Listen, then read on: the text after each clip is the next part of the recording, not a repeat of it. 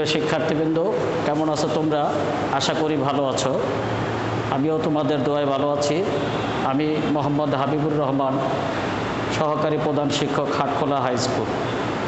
আজকে আমি নবম ও দশম শ্রেণির হিসাব বিজ্ঞান বিষয় নিয়ে আলোচনা করব। পঞ্চম অধ্যায়ের হিসাব শাখায় এটা আমার দ্বিতীয় ক্লাস। গত ক্লাসে আমি হিসাবের নির্ণয় হিসাবে ডেবিট, ক্রেডিট নির্ণয় এগুলো নিয়ে আলোচনা করেছি আজকে সেই বিষয়গুলোর উপর ভিত্তি করে সৃজনশীল নিয়ে একটু আলোচনা করব। আমি বোর্ডে একটি প্রশ্ন, একটি অঙ্ক তুলেছি সেই অঙ্কটি আমি এখন পরে তোমাদেরকে শোনাই তারপর সেই অঙ্ক থেকে কীভাবে কাজ করতে হয় সেগুলো আমি করার চেষ্টা করব। জনাব অপু, দুই সালের পহেলা জানুয়ারি নগদ এক লক্ষ সত্তর হাজার টাকা এবং প্রতিটি পঁচাত্তর হাজার টাকা দরে দুইটি ফটোকপি মেশিন নিয়ে কম্পোজ অ্যান্ড কপি নামে ব্যবসায় শুরু করেন। উক্ত মাসে তার অন্যান্য লেনদেন নিম্নরূপ ছিল। জানুয়ারি তিন তারিখে ব্যাংকে পঞ্চাশ হাজার টাকা দিয়ে হিসাব খোলা হলো। চার তারিখ দোকানে বৈদ্যুতিক মিটার লাগানো খরচ পনেরো হাজার টাকা প্রদান। সাত তারিখ ফটোকপি কম্পোজ ক্রয় দুই হাজার টাকা। জানুয়ারি আট তারিখ বাকিতে একটি ফ্যান ক্রয়। জানুয়ারির পনেরো তারিখ দোকানের পরিচিতির জন্য দুই হাজার টাকা ব্যয়ে প্রচারপত্র বিতরণ। জানুয়ারি চব্বিশ তারিখ একটি স্কুলের ফটোকপি বাবদ নগদ আট হাজার টাকা পাওয়া গেল।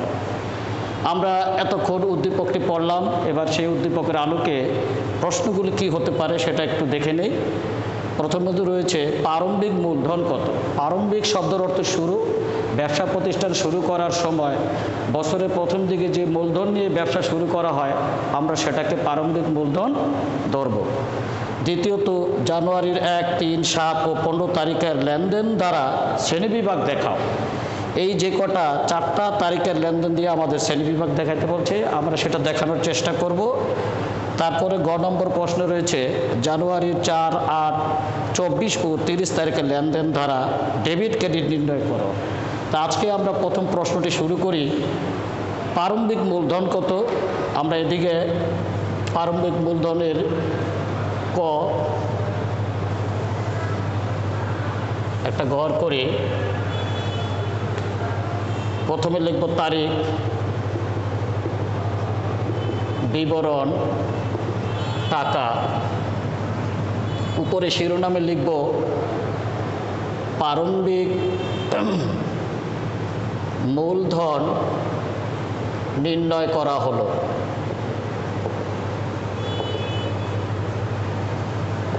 আমি আলোচনার প্রথমে শুরু করেছিলাম যে বছরের শুরুতে যে সমস্ত টাকা বা ফার্নিচার নিয়ে ব্যবসা শুরু করা হয়, তাদেরকে আমরা প্রারম্ভিক মূলধন ধরতে পারি।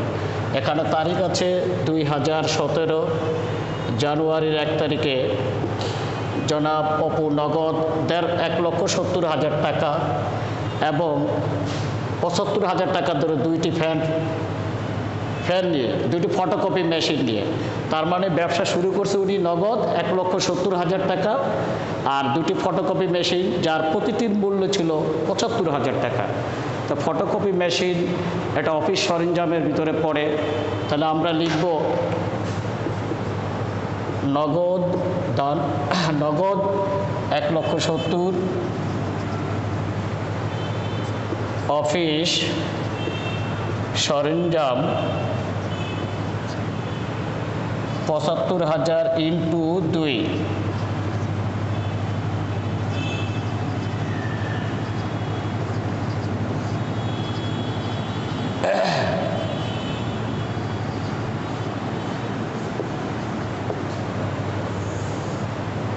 আমরা আবার একটু দেখে নেই নগদ এক লক্ষ সত্তর হাজার টাকা, অফিস সরঞ্জাম পঁচাত্তর হাজার ইন্টু দুই, দেড় লক্ষ টাকা।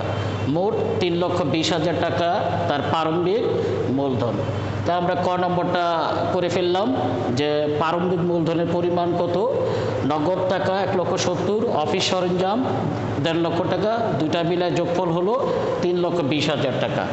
তারপর আমাদের রয়েছে জানুয়ারি এক, তিন, সাত ও পনেরো তারিখের লেনদেন দ্বারা হিসাবের শ্রেণীবিভাগ দেখাও। আমরা এবার খ নম্বরটা করার চেষ্টা করব।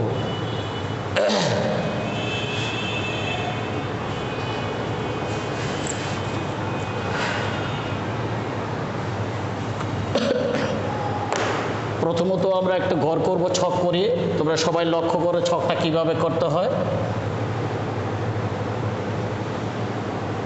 আমরা এখানে প্রথমে লিখব তারিখ,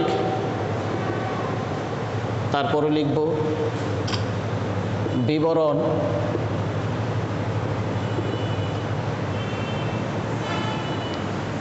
তারপর আমরা তিন নম্বর ঘরে লিখব হিসাবের শ্রেণি।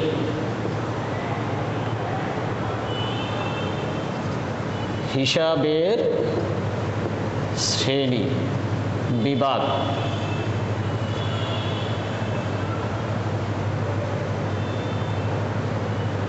হিসাবের শ্রেণি, এখানে আমরা টাকা।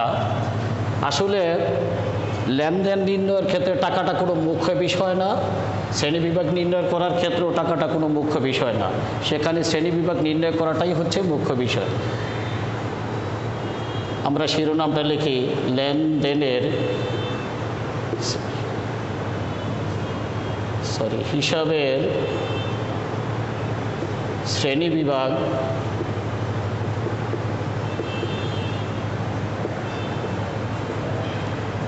নির্ণয় করা হলো তো প্রথমে জানুয়ারির এক তারিখে আমরা দেখি নগদ এক লক্ষ সত্তর হাজার টাকা ফটোকপি মেশিন নিয়ে ব্যবসা শুরু করল নগদ যে কটা আইটেম নিয়ে ব্যবসা শুরু করে আমরা সচরাচর জানি যে কোনো কিছু নিয়ে ব্যবসা শুরু করলেই ওটা ডেবিট হয় তাহলে সেক্ষেত্রে আমরা লিখতে পারি নগদান হিসাব অফিস সরঞ্জাম হিসাব।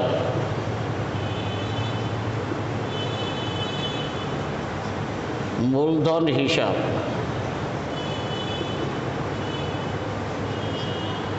এই নগদান হিসাবকে আমরা লিখতে পারি সম্পদ হিসাব। অফিস সরঞ্জাম, সেটাও সম্পদ। এবং মূলধন হিসাব, সেটা মালিকানা সত্ত্ব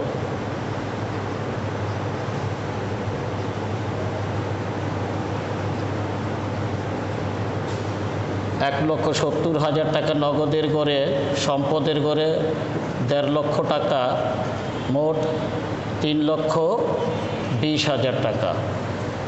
প্রত্যেকটা লেনদেন এন্ট্রি করার পরে আমরা নিজ দিয়ে এইভাবে দাগ করে দিই, দাগ টেনে দেব। জানুয়ারির এক তারিখে বলছে নগদ দেড় এক লক্ষ সত্তর হাজার টাকা এবং দুইটি ফটোকপি মেশিন যার প্রতিটি মূল্য ছিল পঁচাত্তর হাজার টাকা নিয়ে ব্যবসা শুরু। তো নগদান হিসাব অফিস সরঞ্জাম হিসাব, মূলধন হিসাব। তো নগদান হিসাব সম্পদ এক লক্ষ সত্তর হাজার অফিস সরঞ্জাম হিসাব এটাও সম্পদ এক লক্ষ পঞ্চাশ হাজার। এই দুইটার যোগফল মিলে হচ্ছে তিন লক্ষ বিশ হাজার। ওটা মূল মূলধন হিসাব যাকে আমরা হিসাবের শ্রেণীবিভাগ দাঁড় করাইলে আসে মালিকানা সত্ত্ব হিসাব।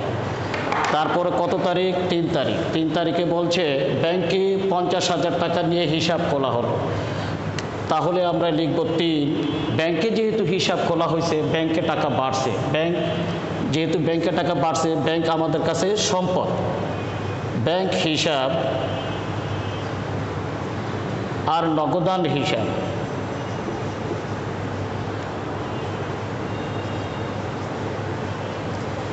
ব্যাংকে হিসাব খুলছি। ব্যাংকে হিসাব খোলার পরে ব্যাংকে টাকার পরিমাণ বৃদ্ধি পেয়েছে। আমরা এটাকে সম্পদ হিসাব ধরব। ব্যাংকে হিসাব খোলার পর নগদ টাকা কমে গেছে। নগদ টাকা কমে গেলে ওটা হয় সম্পদ হিসাব।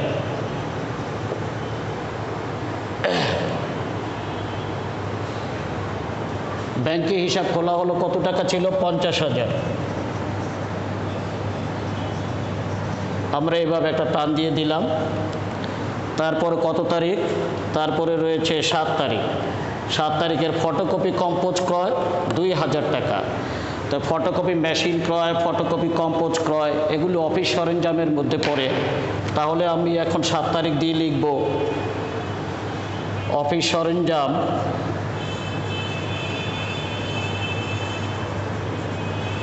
অফিস সরঞ্জাম হিসাব, ছোট্ট করে হিসাব লিখে, আর নগদান হিসাব। নগদান হিসাব।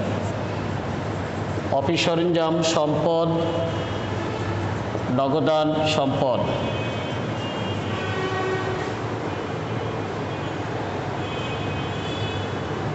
দুই হাজার টাকা। এবং দুই হাজার টাকা।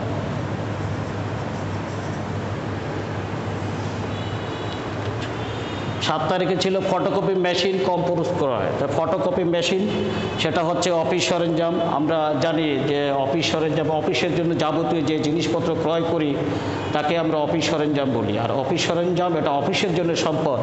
তাহলে অফিস সরঞ্জাম হিসাব সম্পদ। আর অফিসের জন্য ফটোকপি মেশিন ক্রয় করার ফলে আমার নগদ টাকার পরিমাণ কমে গেছে, নগদান হিসাবও সম্পদ। আমরা ইতিমধ্যে শিখছি যে সম্পদগুলো কি কি? ব্যাংক জমা, নগদ, আসবাবপত্র, দেনাদার। তাহলে এখানে সম্পদের ভিতরে যেগুলো পড়ছে, সেগুলোকে আমরা সম্পদ হিসাবে করছি। আর সম্পদ ছাড়া যেগুলো যে হিসাবে করছে, সেগুলোকে আমরা সেই হিসাবে করার চেষ্টা করছি। তারপরে রয়েছে পনেরো তারিখ। পনেরো তারিখ আমাদের জন্য কি দোকানের পরিচিতির জন্য দুই হাজার টাকা ব্যয়ে প্রচারপত্র বিতরণ। কোনো কিছু প্রচারপত্র বিতরণ করলে সেখানে বিজ্ঞাপন হিসাবে আমরা সেটাকে চিহ্নিত করতে পারি। তাহলে আমরা লিখব পনেরো তারিখ। বিজ্ঞাপন হিসাব।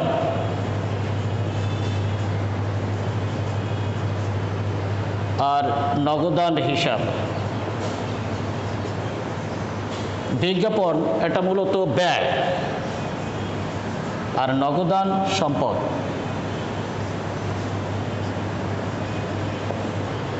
দোকানে প্রচারের জন্য দুই হাজার, এখানেও দুই হাজার।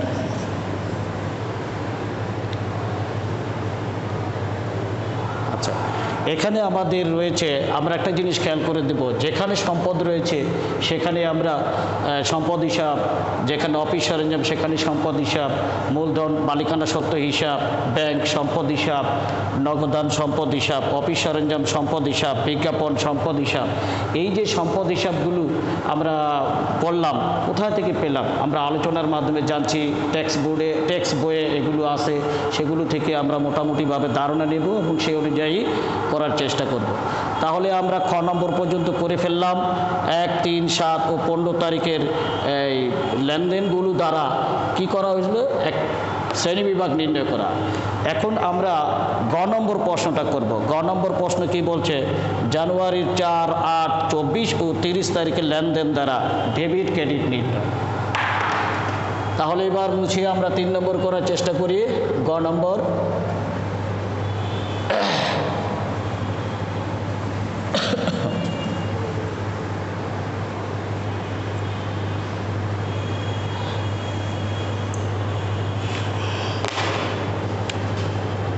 উপরে আমরা প্রথমে লিখব গ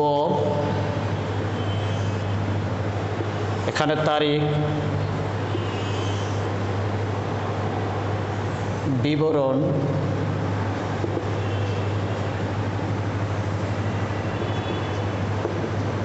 ডেবিট ক্রেডিট টাকা।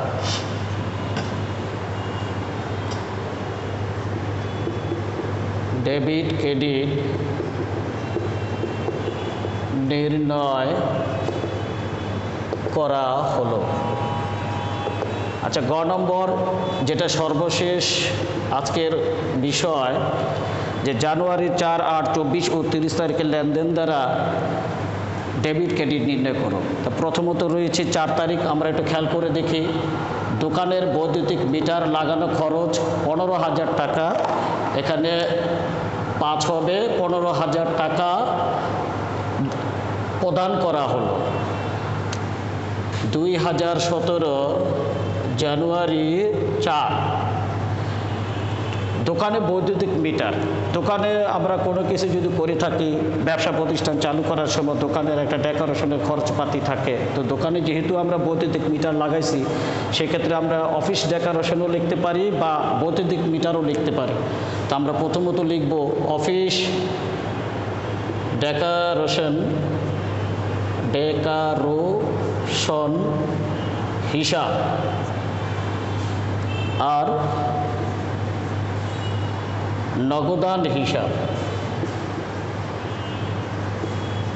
আমি এর আগের ক্লাসে একটু কথা বলছিলাম যে সম্পদ যদি বৃদ্ধি পায়, তাহলে সম্পদ হিসাব ডেবিট হয়। অফিস ডেকোরেশন ডেবিট, নগদান ক্রেডিট। নগদ কমে গেলে নগদান হিসাব ক্রেডিট হয়। ডেকারেশনের ফলে, ডেকারেশন করার ফলে নগদ টাকা অলরেডি আমার ব্যবসায়ী প্রতিষ্ঠান থেকে চলে গেছে। সেই কারণে নগদান হিসাব কী হয়েছে? ক্রেডিট হয়েছে। আমরা এভাবে একটা আন্ডারলাইন টেনে দেবো। এবার টাকা লিখি কত আছে। পনেরো হাজার টাকা, পনেরো হাজার টাকা। তারপরে রয়েছে জানুয়ারির আট। কি বলা হয়েছে আট তারিখে? বাকিতে একটি ফ্যান কয় মানে আমি ফ্যান কিনছি, নগদ টাকা না, বাকিতে। তাহলে যেহেতু আমি ফ্যান কিনছি অফিসের জন্যই কিনেছি সেক্ষেত্রে এটা হবে অফিস সরঞ্জাম।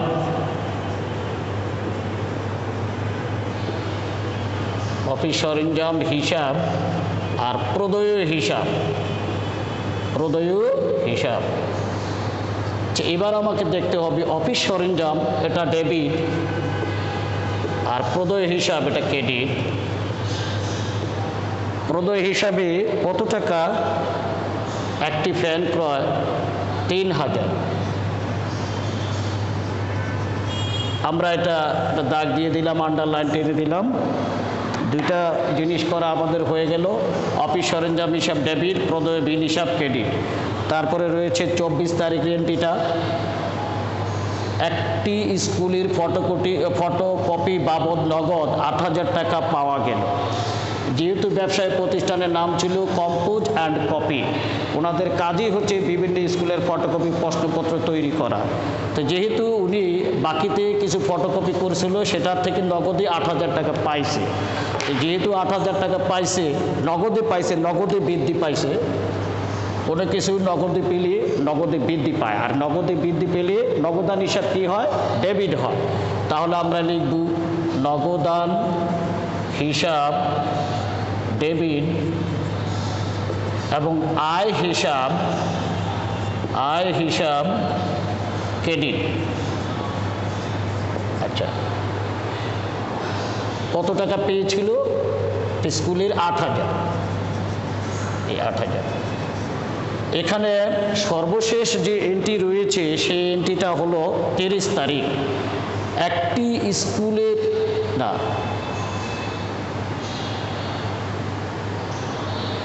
তিরিশ তারিখের এন্ট্রিটা সরি তিরিশ তারিখের একটা এন্ট্রি একটি স্কুলের ফটোকপি ফটোকপি বাবদ এত টাকা পাওয়া গেল। তিরিশ তারিখের আমরা একটা এন্ট্রি এখানে লিখতে পারি।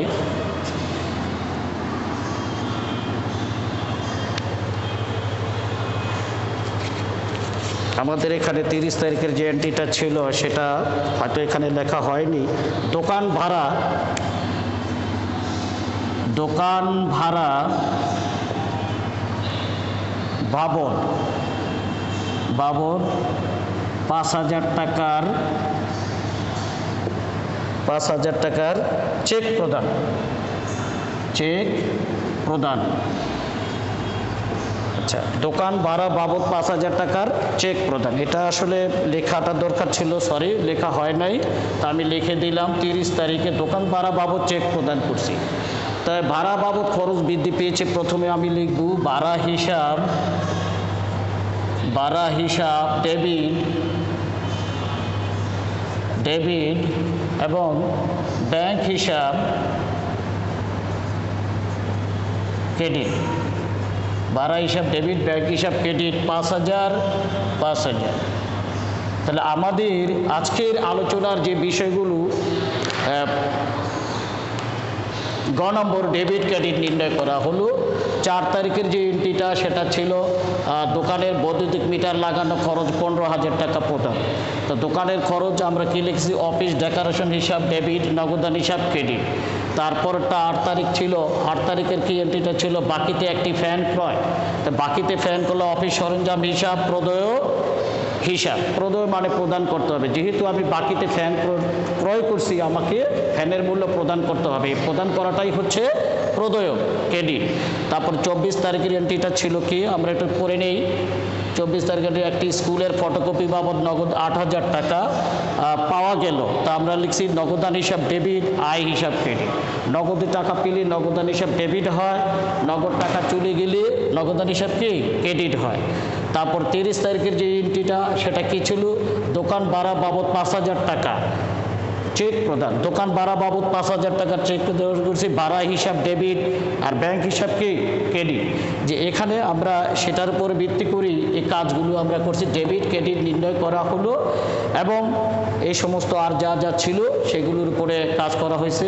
তাই সেটার উপর ভিত্তি করে তোমরা একটু বাড়ির কাজ করবা। এই জাতীয় আমি একটি অঙ্ক বোর্ডে লিখছি, সেটার উপর ভিত্তি করে তোমরা বাসায় চেষ্টা করবা। তোমাদের একটা বাসার কাজ দিয়ে দিলাম, জনাব রহমান দুই সালে জুন মাসের এক তারিখে নগদ এক লক্ষ টাকা এবং পঞ্চাশ হাজার টাকার আসবাবপত্র নিয়ে ব্যবসায় শুরু করেন। উক্ত মাসে তার লেনদেনগুলো নিম্নরূপ ছিল। জুনের পাঁচ তারিখ তিরিশ হাজার টাকা জমা দিয়ে ব্যাংকে হিসাব খোলা হলো। সাত, নগদ ক্রয় পঞ্চাশ হাজার টাকা। জুন মাসের দশ তারিখ নগদ বিক্রয় চল্লিশ হাজার টাকা, পনেরো তারিখ বেতন প্রদান তিরিশ হাজার, সতেরো তারিখ চেকে কমিশন পাওয়া গেল তিন হাজার, বিশ তারিখ যন্ত্রপাতি ক্রয় চল্লিশ হাজার টাকা। এখানে আমরা প্রশ্ন লিখছি, প্রারম্ভিক মূলধন বের করতে হবে। এই উদ্দীপকের আলোকে জুনের পাঁচ, সাত, দশ ও পনেরো তারিখের লেনদেন দ্বারা হিসাবের শ্রেণি বিভাগ নির্ণয় করতে হবে এবং উপরুক্ত তথ্যের উপর ভিত্তি করে লেনদেনগুলো ডেবিট ক্রেডিট নির্ণয় করতে হবে। তাহলে তোমরা বাসায় এগুলোর উপর চেষ্টা করবে, কীভাবে হিসাবের শ্রেণি বিভাগ লেনদেনগুলো নির্ণয় করা যায়, সে তোমরা এই কাজটি সবাই করবে, আর সবাই বাড়িতে থাকবে, সুরক্ষাভাবে থাকবে তিন, এক মিটার দূরত্ব, তিন ফুট দূরত্ব বজায় থাকবা আর লকডাউন সঠিকভাবে পালন করবা, পড়াশোনাটা চালিয়ে যাবা। আজকে এই পর্যন্তই, খোদা হাফেজ।